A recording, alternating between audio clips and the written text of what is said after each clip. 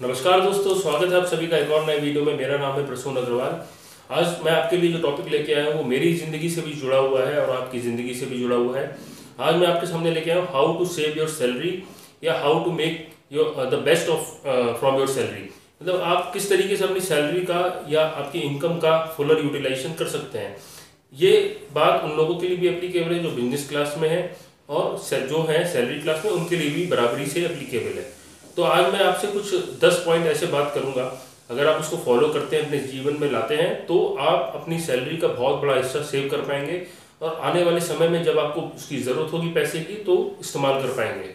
मैं आपको दस पॉइंट बताऊँगा और मैं बताऊँगा मैंने ऐसा क्यों सोचा और वो चीज़ मेरी खुद की यूज़ करी हुई है, मैंने अपनी ज़िंदगी में यूज़ किया है। पहला पॉइंट है consider your savings as your expenditure यानी आप जो पैसा सेव करना चाहते हैं, उसको एक्सपेंडिचर ही माने। आप ये माने कि आपकी सेविंग्स है। अगर आप मान के चलेंगे कि ये एक्सपेंडिचर ही है जो मुझे हर महीने करना ही करना है तो आप अपनी सैलरी का कुछ हिस्सा सेव ज़रूर करेंगे, जो कि आने वाले वक्त में आपको फ़ायदा ही देगा। और आपके मजबूरी में या कभी कोई आपको अच्छी चीज़ खरीदनी है इन्वेस्टमेंट करना है तो वो आपके काम आएगा। आपको कभी भी खर्चे ऐसा महसूस नहीं होगा। लेकिन आपको हर महीने उस सेविंग्स के पार्ट को आपको खर्चे के तौर पर मानना है कि ये खर्च है। और उसको एक अलग जगह जहाँ पे आप अच्छा इन्वेस्टमेंट ऑप्शन समझते हैं, वहाँ पे आपको उसे इन्वेस्ट कर देना है। सेकेंड ऑप्शन है थिंक बिफोर यू बाय यानी आप जो भी खरीदारी करते हैं, उसको खरीदने से पहले सोचें, क्या वास्तव में आपको उसकी ज़रूरत है? जिस तरीके से आज आईफोन का मैं एग्ज़ाम्पल लूँगा। एप्पल का आईफोन हर एक साल एक नया नया वर्जन आता है और बहुत सारे लोग उसके हर एक वर्जन को खरीदना चाहते हैं।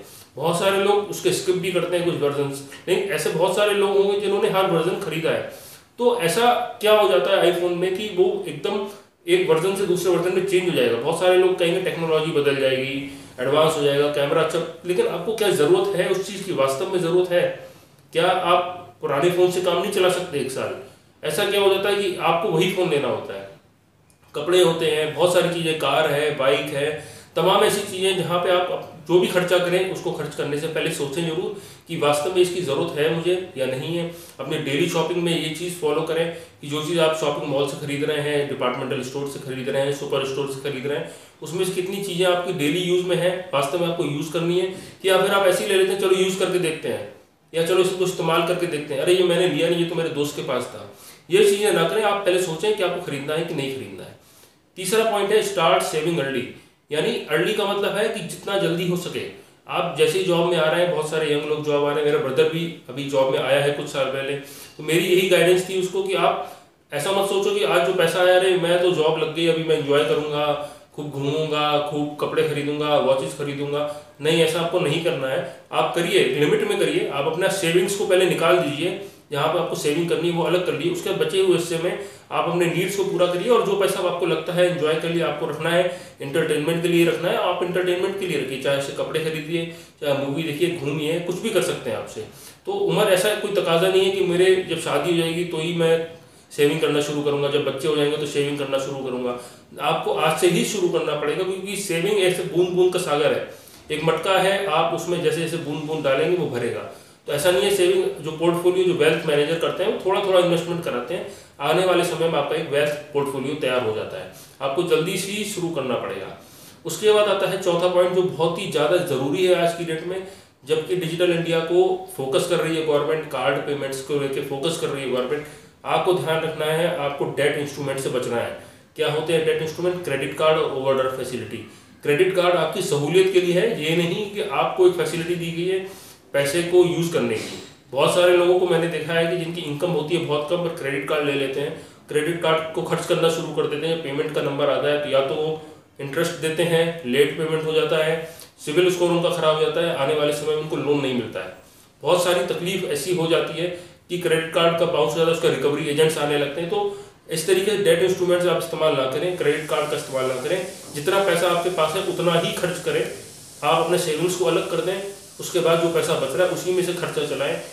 क्रेडिट कार्ड का यूज़ ना करें ओवर फैसिलिटी का यूज़ ना करें। Find out good investment option जो भी अच्छे इन्वेस्टमेंट ऑप्शन है, एक इस पर मैंने वीडियो बनाया हुआ है। ऊपर आई लिंक पे वो वीडियो आ रहा है, आप उस पर जाके देख सकते हैं। एक सैलरी क्लास के लिए, एक इनकम क्लास के लिए, एक बेसिक इनकम ग्रुप के लिए, एक बेसिक इन्वेस्टमेंट ऑप्शंस क्या क्या होते हैं, वो मैंने इस वीडियो में डिस्कस करे हैं। आप जाके देख सकते हैं। इसके अलावा आप अपने खुद के इन्वेस्टमेंट ऑप्शन सोचिए। कहाँ आपको बेटर रिटर्न मिलेगा, कहाँ आपकी फ्यूचर अच्छा है। कहाँ पे फ्यूचर वाइबिलिटी अच्छी है?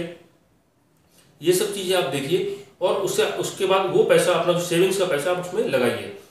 उसके बाद छठा पॉइंट आता है avoid wastage for buying for luxury देखिए, ये बहुत ही बड़ा पॉइंट है जब हम लोग एक मिडिल क्लास की प्रॉब्लम है, एक अपर मिडिल क्लास की प्रॉब्लम है, कि वो बहुत जल्दी रिच होना चाहता है, बहुत जल्दी वो हायर लेवल पर जाना चाहता है। ऐसा ना करें आप। आपको अगर लगता है कि मुझे एक, आज मैं मारुति हंड्रेड चला रहा हूँ या ऑल्टो कार चला रहा हूँ मुझे बहुत जल्दी फॉर्चूनर खरीदनी है, पच्चीस लाख की गाड़ी खरीदनी है।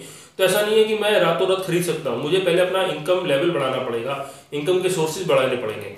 ऐसा नहीं है कि मैं इसी इनकम ग्रुप में फॉर्चूनर खरीदूँगा तो अल्टीमेटली मेरे ऊपर रिस्पॉन्सिबिलिटी बहुत होगी, और मैं उसका बिल पेमेंट नहीं कर पाऊँगा, उसकी ईएमआई पेमेंट नहीं कर पाऊँगा, या फिर उसको अफोर्ड ही नहीं कर पाऊँगा। तो अपनी जो लग्जरी को अगर आपको पूरा करना है, उस लग्जरी की डेफिनेशन जो आपके सपने पूरा करने के लिए आप पहले अपना लेवल बढ़ाएँ इनकम लेवल को बढ़ाएँ, अपनी ग्रोथ करें, अपनी ज़िंदगी में, अपने कैरियर में, चाहे वो आप कुछ भी करते हो तो उसके बाद जाकर उस लग्जरी को अफोर्ड करने लायक बने और फिर खरीदें। ये नहीं कि आप आज ही खरीद लें, किसी ओवरड्राफ्ट फैसिलिटी के थ्रू किसी लोन के थ्रू ऐसा ना करें आप। इसके बाद आता है इन केस ऑफ़ फ्यूचर अगर आप पहले इंश्योर करें अपना फ्यूचर को। इंश्योर करने का मतलब ये है, बहुत सारे आप देखते होंगे, सबसे पहले लोग LIC ले लेते हैं, या कुछ अलग अलग पॉलिसी ले मेरे लिए सब आपकी आपके लिए, सबके लिए एक राय है कि एल लेने से पहले, यानी लाइफ इंश्योरेंस लेने से पहले आप मेडिक्लेम पॉलिसी लें। मेडिक्लेम पॉलिसी आपको इंश्योर करता है काफ़ी ज़्यादा जो प्रॉब्लम्स होती हैं, आपकी मेडिकल के खर्च होते हैं, जो आपकी, आपके रनिंग एक्सपेंडिचर में प्रॉब्लम क्रिएट कर देते हैं, आपके मंथली एक्सपेंडिचर में प्रॉब्लम क्रिएट कर देते हैं। उसको आप प्राथमिकता दें लाइफ इंश्योरेंस को आप सेकेंडरी रखें।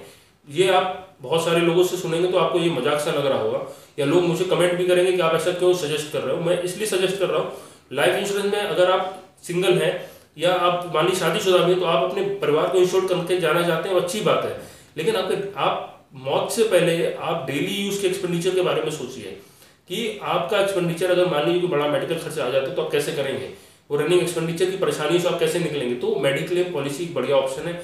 अगर आप उसे उम्र में जल्दी ले लेंगे तो आपको वो सस्ते प्रीमियम पे मिल जाता है, बहुत ही सस्ते प्रीमियम पे मिल जाता है आपको। मुश्किल से पाँच सौ रुपये महीने से शुरू होकर आपका एक हज़ार, दो हज़ार रुपये महीने तक भी जाता है वो। तो बहुत ही सस्ता होता है और आपको काफ़ी फ़ायदा होता है। कैशलेस आपका मेडिकल ट्रीटमेंट हो जाता है, काफ़ी बड़े बड़े एक्सपेंडिचर उसमें कवर्ड हो जाते हैं। फिर उसके बाद आपको लगता है कि आपको लाइफ इंश्योरेंस लेना चाहिए तो आप ले सकते हो फ्री हो। अब आती है मुख्य बात, जो आपका आठवां पॉइंट है, वो मैं अपने जीवन में हमेशा अप्लाई करता हूँ। Save at least twenty to thirty percent of your salary at least twenty to thirty percent of your salary take home salary take home salary यहाँ बोल रहा हूँ मैं, क्यों? आप अगर तीन महीने की सैलरी बचाते हो नहीं थर्टी थर्टी थर्टी, यानी तीन महीने में आपने नाइन्टी परसेंट एक तरीके से सैलरी बचा ली। यानी अगर आप तीन महीने की सैलरी में ट्वेंटी, थर्टी परसेंट अगर आप सेविंग करते हो अप्रॉक्सीमेटली तो आप एक महीना फ्री आपका हो गया। अगर मान लीजिए आपकी जॉब छूट जाती है या कोई प्रॉब्लम हो जाती है तो हर तीन महीने पे आपको एक महीने की आपकी सेविंग करी हुई है। आप अपना एक महीने का खर्चा उससे चला सकते हो। ठीक है? अगर आपने तीस परसेंट की सेविंग करी, यानी आपने सत्तर परसेंट रुपया खर्च किया है, यानी एटलीस्ट जो आप सेविंग कर रहे हो उसमें भी आपको बीस परसेंट बचत हो जाएगी। तो ऊपर ओवरऑल अगर मैं बात करूँ, हर तीन महीने काम करने पर आपको एक महीने का मुफ़्त में आप जी सकते हो, आपका खर्चा आप खुद उठा सकते हो। इन केस अगर आपकी जॉब जाती है या कोई प्रॉब्लम आती है तो आप पे कुछ सेविंग्स रहेगी। ये रूल आप हमेशा लेके चलें। इसके बाद आता है ninth point change your habits if you are shopping free मतलब आप मार्केट में गए, आज मैं घर से बाहर निकला हूँ, आज मेरा मन नहीं कर रहा है, चलो मैंने बाहर खा लिया। या ग्रुप में घर में खा सकते हैं, आप ग्रुप में खा सकते हैं, आप मतलब आप थोड़ा मार्केट में जाके एनालाइज करके आप देखिए कि अगर आप घर में खाना खाएँगे तो आपके लिए हेल्थ के लिए भी अच्छा रहेगा। आप साथ में खाए, खाना खाएँगे, पूरा फैमिली साथ में खाना खाएगा तो आपका खर्चा भी बचेगा। लेकिन बहुत सारे लोग होते हैं जो हफ़्ते में तीन दिन, चार दिन, पाँच दिन तक बाहर खाते हैं, जबकि ऐसा नहीं होना चाहिए। आपकी हेल्थ के लिए भी ये इशूज़ क्रिएट करेगा, साथ में एक्सपेंडिचर भी आपका बढ़ाएगा। तो यहाँ पे आपको थोड़ा सा कंट्रोल करना है कि किस तरीके से मैं बाहर जाके कुछ भी बिना ज़रूरत के जाके देखता हूँ, चीज़ों को खरीद लेता हूँ या बाहर ज़्यादा खाना खाता हूँ, ज़रूरत से ज़्यादा एक्सपेंडिचर करता हूँ, वो चीज़ें आपको अपनी कंट्रोल करनी है वेस्टेज आपको कंट्रोल करना है। दसवां पॉइंट जो है, वो हम सबके लिए एप्लीकेबल है, मेरे लिए भी एप्लीकेबल है, आपके लिए भी है। सेविंग्स से ज़्यादा वो हर ज़िंदगी की हर चीज़ में चाहे वो आपको पढ़ाई करनी हो, चाहे आपको ग्रोथ करनी हो, किसी भी चीज़ में हो, वो है डेडिकेशन वो है एक्सेप्टेंस कि आपको ये चीज़ करनी ही करनी है, भले ही आपको अभी समय लगेगा। टेक स्मॉल स्टेप्स आप छोटे छोटे स्टेप लें ऐसा नहीं करेंगे आपको पहले महीने से तीस परसेंट सेविंग कर लेनी आप प्लान करें कि कैसे मुझे अपने एक्सपेंडिचर को डेफर करना है, कैसे प्लान करना है, किस तरीके से करना है, वो पूरी प्लान करें। उसके छोटे छोटे स्टेप बनाए हो सकता है आप किसी महीने दस परसेंट कर पाए और किसी महीने आप चालीस परसेंट कर पाए। तो एवरेज आउट होकर वो बीस परसेंट सैलरी आपकी सेव हो जाएगी। तो उस तरीके से प्लान करें। छोटे छोटे स्टेप उठाएँ। डेडिकेशन लें कि मुझे हाँ करना ही करना है। मुझे एक बड़ा घर लेना है। मुझे एक बड़ी गाड़ी लेनी है। लेकिन मैं गाड़ी लूँगा तो लोन से नहीं लूँगा। मैं खुद के पैसे से लूँगा। तो इस तरीके की डेडिकेशन आप हमेशा दिखाएँ और सेविंग्स को ज़रूर करें। डेडिकेशन करें। छोटे छोटे स्टेप लें। ये दसों पॉइंट आप अपने जीवन में अप्लाई करें। आई होप यह आपको सपोर्ट करेगा, आपके जीवन में सपोर्ट करेगा और अच्छे दिन आपके ज़रूर लाएगा। आई होप ये वीडियो आपको क्लियर हुआ होगा। कुछ मैं आपकी मदद कर पाया हूँ, आपके जीवन से सैलरी से संबंधित सेविंग से संबंधित आपके पैसे बचाने में मैं मदद कर पाया हूँ। इस वीडियो को लाइक ज़रूर करें, अगर अभी तक आपने देख लिया है शेयर करें अपने दोस्तों के साथ, सभी रिलेटिव्स के साथ, उनको भी ये मदद मिलनी चाहिए कि उनका हक बनता है। और सब्सक्राइब ज़रूर कर ले पॉकेट मनी ये आप ही का चैनल है। मैं आपके लिए ऐसे वीडियो लाता रहता हूँ, साथ में मैं ब्लॉग्स भी लाता हूँ। अगर आप वो ब्लॉग देखना चाहते हैं तो मेरे चैनल पर ज़रूर जाएँ सब्सक्राइब ज़रूर कर लें चैनल को। और याद रखें always respect your nation follow your heart जय हिंद। ಒಂದೇ ಮಾತ್ರ